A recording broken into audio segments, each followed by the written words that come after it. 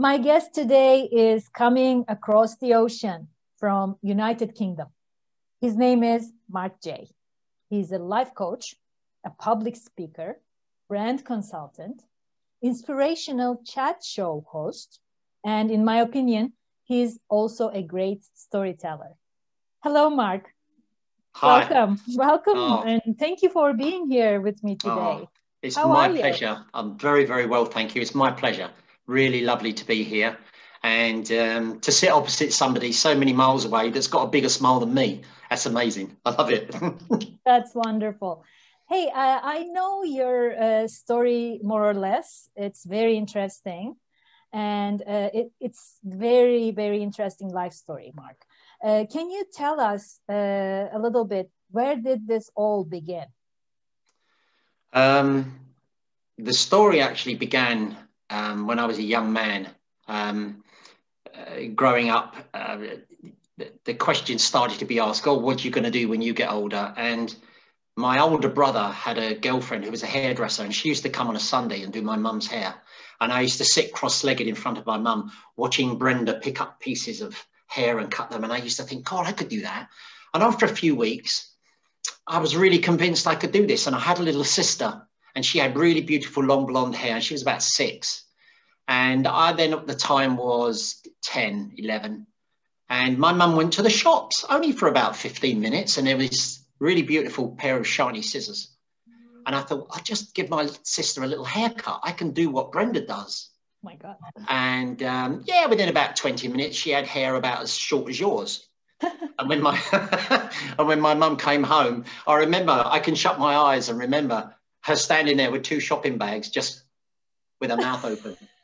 my little sister going, "Look, look at my new hair!" And there was all this blonde hair on the floor.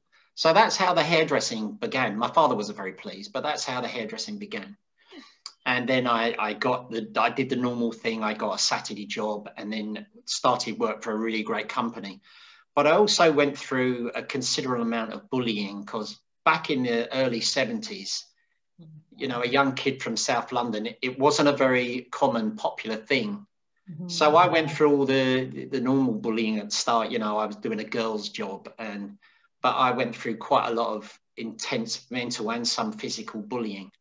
So my older brother took me to judo. That was no good. He took me to boxing, and that was no good. And then we found kung fu, and um, David Carradine was on the television with this program at the time, and I thought, yeah, I could do this. And I met one of my inspirational people that then became sort of part of my life for the next 20 odd years. And I studied martial arts to, to have quite a high grade. And um, that's where the, the story began. Mhm. And then through that period of time, there was uh, the, the journey was like a train journey from them until till early this year. But on that train journey of hairdressing, I've had four salons. Um, I had an academy. I've launched my own product range. But also through that that time, I've stopped at stations along the way and taken on bodybuilding. Uh, I was an actor. I went to drama school. Um, I became quite inspirational to young actors. And then, because I'd already by this time had my own business and I was going on to my second new business, I was sort of an inspirational mentor to two young people that wanted to open their own salon. So I inspired, took some time out and inspired them through that. And through that period of time, um, meeting people like Arnold Schwarzenegger and Conan the Barbarian, you know, and um, and Tony Robbins, and my my chief inspiration inspirational person was the guy I worked with in Harrods Mhm. um, called Harold Layton. He invented the round brush that you girls do your hair with now. I was his apprentice, and um, every day I'd come to work, I'd always not moan but say something, and he would he would say, "Marc, never ever give up. Doesn't matter what anybody says, never give up." And he would say it almost like some people say hi. And it was almost like tattooed into my brain never give up, never give up, never give up. And people, I imagine, I don't know, I never asked, but friends back in the in the early 80s and that, they'd say something, they'd go, oh, I- never give up. That I almost got it as a bit of a nickname, you know. Oh, are we all going to the party on Saturday night? Who's going? I'll never give up's going, you know. And um, of course, through the years, many, many musical artists have, have made songs with that either in the song or in the title, you know, never give up on a good thing, you know. And uh, oh, that's your song, is it? You know, so that stuck with me. And yeah. um, and that was really the uh, the that's about as, as short as I can make it for you, so I don't bore everybody to tears. But there's loads more in there. There's loads more in there. It's not boring at all. It's very interesting, really. Uh, I, from your story, the the stuff that you told so far, I'm I take a few pointers. One of yep. them is I want to revisit the bullying uh, yeah. We know that bullying has a big impact on young kids and teenagers. Yeah, very much so. Character formation. And you are saying that you were bullied as a child. How did that affect you? It, it was, it was a strange thing because um, it the, the bullying actually started before the, the, the hairdressing thing really came along because I mentioned that in what we call junior school over here. Um, but it happened before that, and there was uh, a, big, a big, um, a big guy. He was the biggest guy in the in the in the school. Actually, would even I think going back, I was about seven, and it was around the time that Mum used to leave you at the end of the street, and you could walk the rest of the way. And I'd get to the school gates, and this guy would take my dinner money from me, and and push me over and so I didn't have dinner for about 11 weeks. Wow. And I would always come home from school and I'd be raiding the biscuit jar, you know, the cookies. And um, my mum would be like, my God, you know, why are you so hungry? And it, that didn't reveal itself until I actually left school. And that started to affect me. Um, I also had a neighbor who was, he was about three years older than me, but he could only play with young kids. I don't, I didn't know back then whether he had problems, but he only ever wanted to play with the younger kids. And his mum and dad were out one day, and I went into his house to call for him. And we used to just walk in, everybody's back door was always open. And he locked me in an understairs cupboard, which was pitch black, and he left me there for four and a half hours. Oh my God. Yeah. And it wasn't until his mum came home from work and, and unlocked the door. And that, that put me in a, I don't mean to use this as a pun, but that put me in a dark place. So that took a little bit of a while for me to come out my shell when my mum and dad had friends or neighbors i would run to my room because that that contact that even that people being in the same room i had trouble handling that mm-hmm. because that you know and and so when i actually started martial arts it was something I didn't quite understand, but it was a freedom in my mind because my teacher was, I use sensei, and not a lot of people know what that word is, but that's a martial arts teacher. My sensei would be telling us things and asking us to kneel quietly and shut our eyes. And, and this was like a form of early meditation. I, I didn't know this as a, a very young teenager, but it was a form of meditation and getting us to to bring all the nasty stuff out and, and air it. And he would ask us all individual questions. And that was the beginning of me healing from that. Mm-hmm. But I remember one very pro- profound moment when I went to this class. The very first class, after all the parents or the relations or the people that brought you have gone, he would kneel us down and he would go and kneel in front of us and he'd say, Why you want to learn martial arts? And I said, Well, um, I was very shy. I, I said, Well, I've been really badly bullied, so I want to learn how to hurt people back. And he went, Marc, no, no, no, no, no, no. It is easy to hurt people. First, you have to learn how to heal people.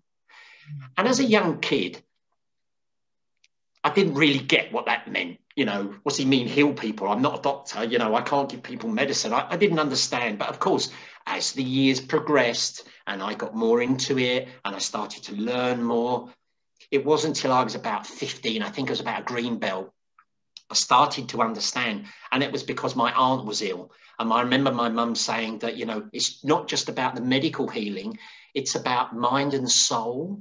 And I said, yeah.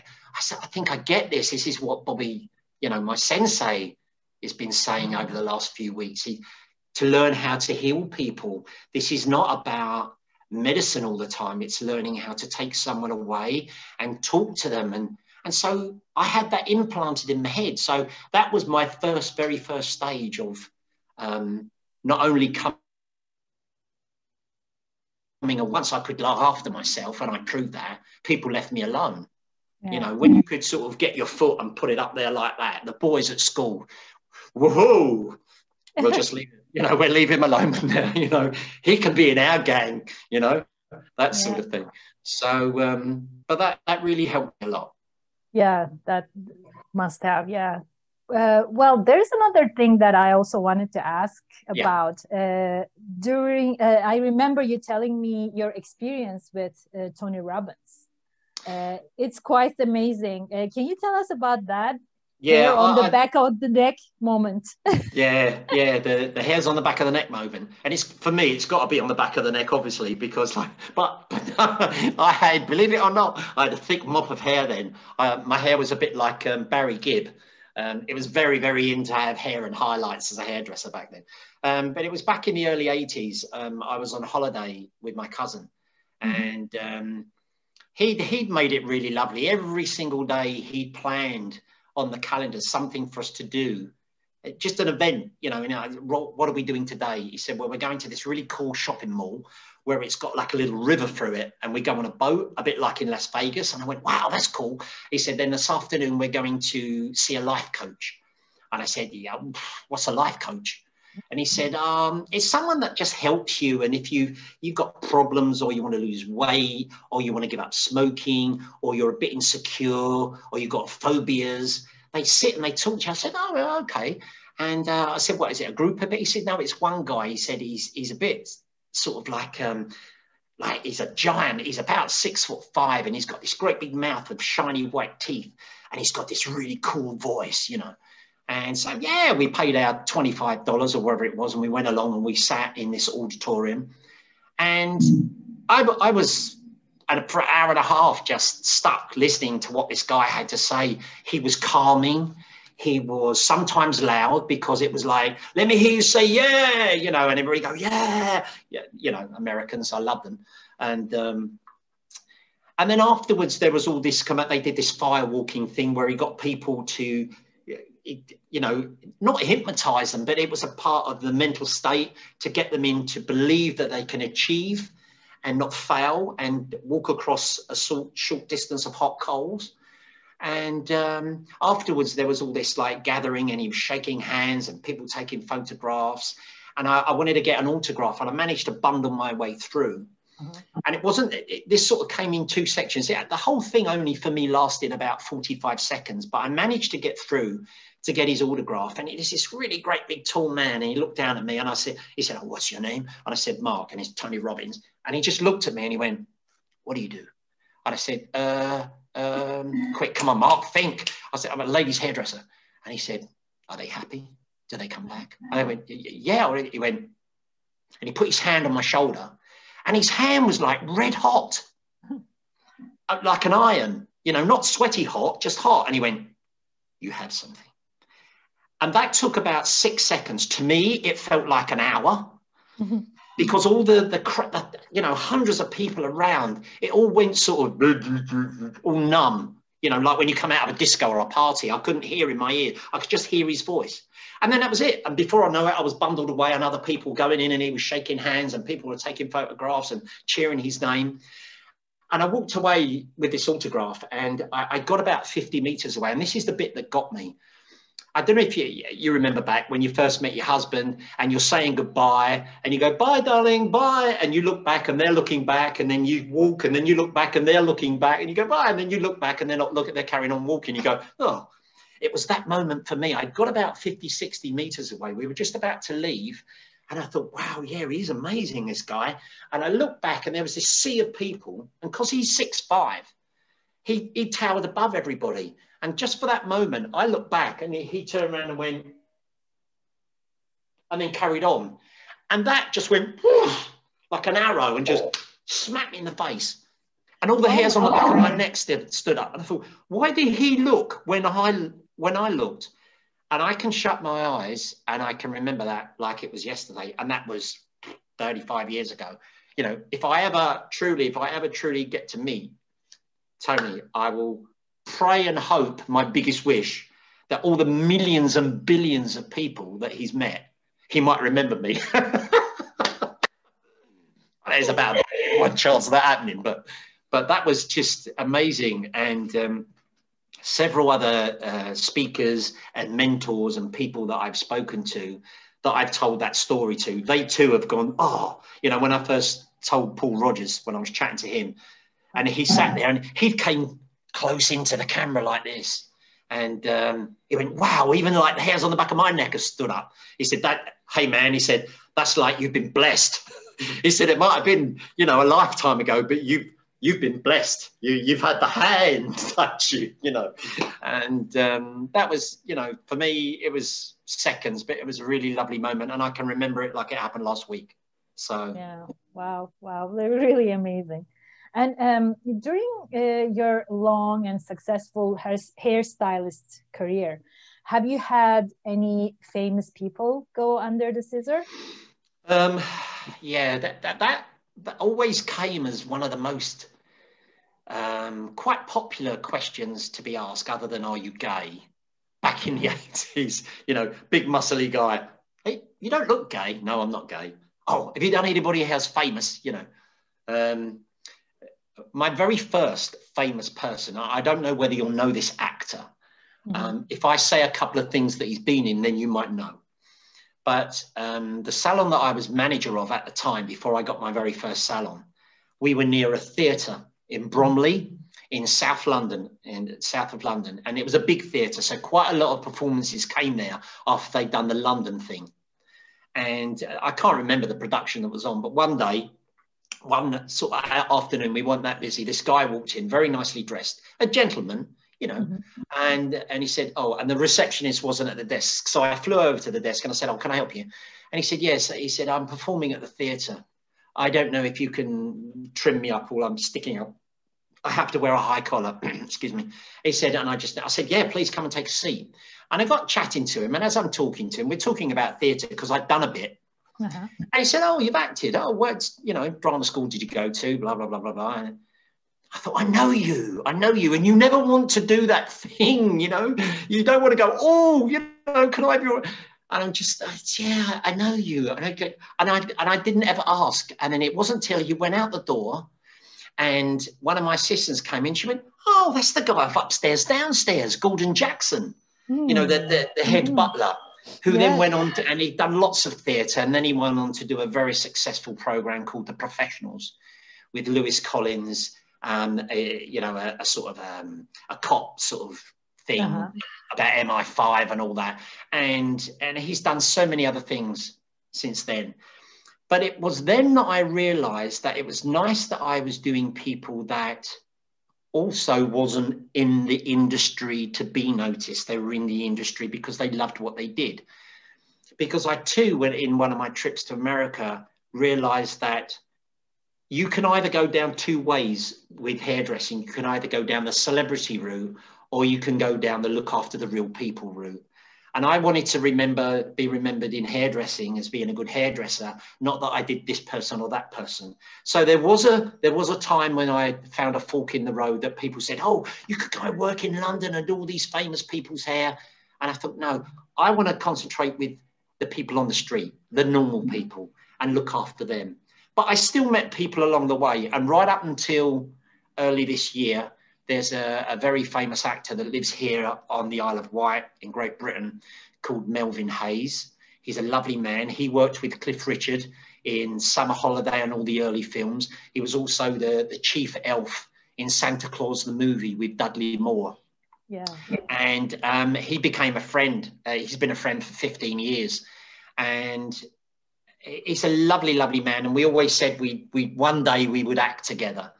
And he's such a normal guy. I see him walking his dog regularly, and he still looks the same as he did 35, 40 years ago in the movies, you know.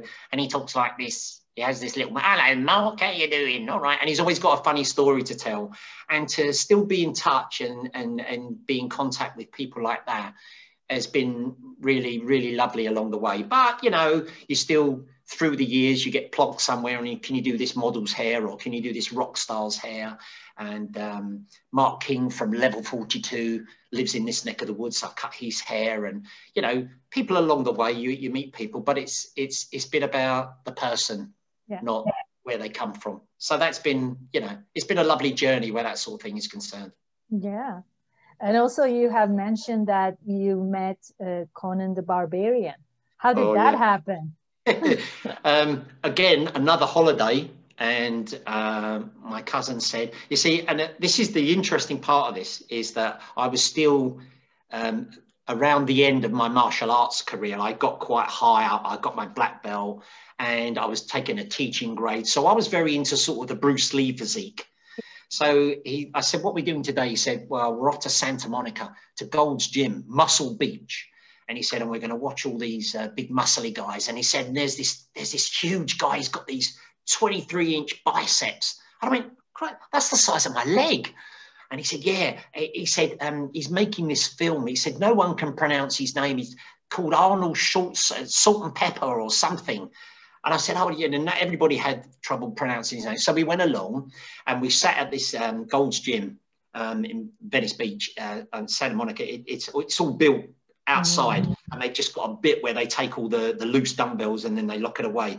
But it's all built up with concrete seats, and it tears up like a theatre. So we all got our ticket and went in and our smoothie, and we're all sitting around and we're watching these guys come out and lift heavy weights. But because that wasn't my thing at the time, I was more interested in the girls going by in bikinis on roller skates up and down the, you know, the promenade. Like, and my, you know, I was looking like this, and my cousin would go, "Yeah, look at this." I'm going, "Oh yeah." And then right at the end, the guy that owned was running the gym said, "Okay, please give a big hand and a big whoop whoop whoop for our special guest, Mr. Arnold Schwarzenegger." And I thought, "Oh, that's how you say it." And this this dude came out, and he had this centre parting and this sort of longish hair, and a really big, super triple, quadruple X t-shirt that hung on him like a like a tent. And I thought, well, he don't look that big because it was hiding everything. And he said, uh, Good afternoon, everybody. Yes, my name is Arnold, and I'm here today to talk to you about bodybuilding. And he started talking about bodybuilding, and then people were shouting questions, you know, you know, how much how much milk do you drink, Arnie? And he says, Milk? when you grow up, you should drink beer. And it'd be like funny comments like that, you know. And then he took his t-shirt off and went like that. And everybody went, oh, and for about five seconds, you just you just heard everybody breathe in like that. And then everybody went, yeah, and all the cameras started going and everything. And he was doing this and doing this and you know. And I thought, wow. So I queued up with the other 250 odd people and I got my photograph with Arnie. Mm-hmm. He was standing here like that, that I've got in a safe place in a, in a safe packed away and uh, you know got a picture with the governor of California, and um, that was it. When I came home, I, I bought a few magazines, and um, it didn't take long before I, I hung up my kung fu suit and I joined the gym. And that was my my really my inspiration. Then I, I managed to get absolutely everything, every interview, every article, every magazine that Arnie was in. And um, then, of course, he started to make films that was on the, the brink of him making Conan the Barbarian, which he was at his biggest. Then he went on to have a very, very, very successful um, acting career, the highest mm. paid act, um, action hero. Um, then he got into politics because he met Maria Shriver and married Maria, and he got into the Kennedy family, which was a, a big hoo ha. It did reach the papers at one stage because of his parents' background to do with um, Nazis and things, I think it was, but that's another subject. Um, but he still became governor of California and yeah. worked with Joe Weider um, and to, to help uh, underprivileged kids, mentally handicapped kids. Um, he, he, created a massive fitness event that I, I was part of in England because it was all around the world. And um, yeah, and then and then I went on to compete as a natural bodybuilder. So that was a massive inspiration. He was, you know, just that one meeting of him you know, um, that time, that that Thursday afternoon in Santa Monica. It was, uh, yeah, that was really cool. yes, it is cool, really, and it made a big impact on your life. Uh, yeah, I, I think so because I went 20 years on a diet is a long time. So it didn't, I learned very early on that the word isn't diet, it's, it's a way of life. Mm-hmm. So I started to cut out a lot of things because of the, the way of life of a natural bodybuilder and your physique and what you were trying to do. It became a massive interest to me. So I found books again and I started to read and I got into the nutritional side of things. And then I went back to school and started to learn more night school and started to learn more about nutrition and you know electrolyte system and what's good and what's bad and i could never dream of one of my favorite things growing up was i love jacket potatoes with lots of butter and lots of sour cream and uh, that soon turned around where i'd be able to eat a jacket potato cold baked potato cold raw with nothing on it and people would go, "Oh my god, that's disgusting! Aren't you going to put anything on there?" No, I've got another one in my bag. Would you like some? Oh, maybe a little bit of black pepper, but that's it. And you know, it's uh, it really taught me really a lot um, about nutrition and and what's good and what's bad. Hey, but we need a little bit of everything in our life. So um, it was nice to have a thing like a cheese and pickle sandwich or um, a burrito or you know some ribs because I didn't have that sort of thing for about 20 years, didn't touch alcohol for 20 years. And so to ease ease back into that was yeah. Um, that was that was uh, a process. but um, I have a little bit of everything now. Still have my protein drinks, still take my vitamins, still drink lots of water, but I like a good glass of wine or a gin and tonic. Yeah. Yeah, that's good. That's good. Uh, so I want to ask about you becoming a life coach and motivational uh, speaker what was your like thunderbolt moment what mm. What did that, what did yeah what did bring it up? How did that happen? Um, speaking to certain people um, at the end of last year um, I was doing some personal training and some motivational talking. I was going to schools and I was talking to young teenagers, not just young men, but girls as well, about sport and drugs, and that you could have a good physique and you could have a really good, healthy way of life, and motivating them into that that direction. And quite a few times people kept saying to me, Oh, you should be a motivational speaker. Well, you already are a motivational speaker. You should get into some form of business where that's concerned. So it, it played in the back of my head and then when we came into 2020, and um, there was talk of a virus, and um, they weren't quite sure what was going on. And I, it, I didn't realize it was a cloudy moment. It was there, but it was misty, and I wasn't taking much notice. And then we went into lockdown. And of course, my salon closed. And that was the thunderbolt moment. I, I sat thinking, you know, what do I do? Where do we go? Is it going to be two weeks? Is it going to be a year? No one knew here in Britain.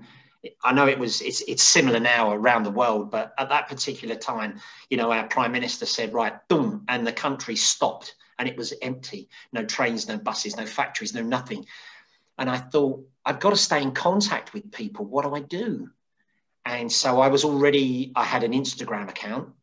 So I posted that I was going to do a live show and so I started a live hour once a week so I could keep in contact with people. And I spoke mainly about how you're going to look after your hair. But then people started saying, do some motivation, do one of your like, you know, motivational. And so it very quickly came into that. And that's when I joined LinkedIn. And I sat one afternoon and I suppose I was meditating in a way, but I was sitting very calmly, quietly on my own. And it was it was a thunderbolt moment and it was like my ceiling opened and all the pieces of my life jigsaw puzzle came slowly trickling down onto the table in front of me. And a bit like the matrix all moved into like sync like that. Hmm. And i looked and there in front of me there wasn't a jigsaw puzzle but in my mind's eye there in front of me was this message saying now's your time. This is the moment you step out and you help people. You're already helping people. You're helping them with you know their fitness and you're helping with their mindset and you're helping them with their diets and you're helping them with their business and you're helping with them you know sending them in the right direction. But now's the time you actually do it globally where you actually step outside your environment and tell your story to the world and anybody that needs help, help them. And I thought, wow, how do I do this? And I fortunately joined LinkedIn and started to meet some amazing people, which is okay to mention yourself and and um, Paul Rogers, Paul S. Rogers, oh. and Rob Sharkey, um, to name a few. And uh, you know, my posts were still very Instagrammy, very, hey, I'm Marc Jay. And they said, well, like, you know, you're a lively character, but your actual core message is really good. You need to do something with this rather than just come on and just have a chat. Mm-hmm. And, and that was my thunderbolt moment that the last eight months have been a, a, a rocket, a rocket journey of to try mm-hmm. and get this together. And and and LinkedIn has has been amazing. You know, very fortunate to meet really beautiful, lovely people like yourself. And it, and it, and it's been an amazing journey that I learned the word organic. I didn't know really what it meant in the tech world, but they said, "God, you, you see how many followers you've got? You know, you've got them organically." And I said, "Well, yeah." When I came onto LinkedIn, I followed a few hairdressers and a few fitness instructors because that's what I know about. And then all these other people started going, you know, can I connect with you? Can I connect with you? And it went 400, 500, 600, 700, uh, 900. I'm, like, oh my God, I've never had this. And then it hit a thousand. And I thought, whoa, you know, what's happening? All these people just connecting with me. And I would often stop and say, hey, look, you know, I'd reply to absolutely everybody and, you know, thank you very much for connecting. And, you know, it's really lovely to meet you and have a nice day. And I'd often get people say, hey, that's really lovely. Thank you for saying that normally you connect with people and they just go hi, you know. And now, but it just, and I found myself very early on in LinkedIn um, having about 37 conversations. One afternoon, my my other half, my rock, she brought me a cup of tea and a sandwich lunchtime, and I'm on my iPad and my phone, and I'm doing this. And I'm, yeah, I started bodybuilding, but oh yeah, I, did martial arts for 20 years. Oh yeah, I was bullied. Yeah, yeah. I just, and then the next thing, it felt like 20 minutes. She came in, she said, I'm just going to serve dinner up. And I went, well, what's the time? And she said, it's quarter to seven. You've, you've been doing that for five and a half hours. And I went, oh my God. you know, I thought, whoa, whoa, you know, put the brakes on. I've got to put this in some perspective here. I, I can't just sit there all day messaging, talking to people. You feel like God, you know, but you know what I mean by talking to all these people. And um, no, I've got I've got to put this. So then a plan of action, and and to take action and and to put it into some sort of model, and and that's what we've been doing. And and now we, I I go forward and step into the world of helping people, as many people as I can, as long as I'm awake. Yeah, so so that's that's awesome, and uh, you have mentioned so many uh, subjects that people can relate with anyway. Uh, so how how could people uh, contact you? How could okay. they get to get to you? Okay, I'm I'm very lively on LinkedIn, um, and if you don't do LinkedIn, I'm on Instagram. Um, your say with Marc Jay Outlook.com is my email. Um, website um, under under building at the moment yeah construction. Um, it doesn't say under construction at the moment. It actually says um, coming soon. A bit like that movie you're waiting to come out. So uh, Marc Jay you'll say with Marc Jay coming soon. But um, yeah you'll say with Marc Jay outlook.com is my email. And, and i reply to i do see a lot of on social media a lot of people say don't dm me. Don't message me personally i haven't got a problem with that anybody wants to, to have a chat or need some advice, message, DM, I reply. If I'm awake, I reply straight away. And um, that's the way people get in touch with me at the moment. You are a genuine person. Uh, it's oh, it's amazing. So Huge uh, pleasure listening to you. You're a great storyteller, really. Thank so you. it was. It has been a big pleasure having you. Oh no, pleasure. The pleasure's me. been all mine. Honestly, it really has. It really, really has. Well, I wish we we would have more time, and I know you have uh, more stories to tell us. But um, I, I, bet so many people will get in touch with you after this, Thank especially. You. Thank have you so a wonderful much. day. Thank you. Thank you. God bless. Thank you.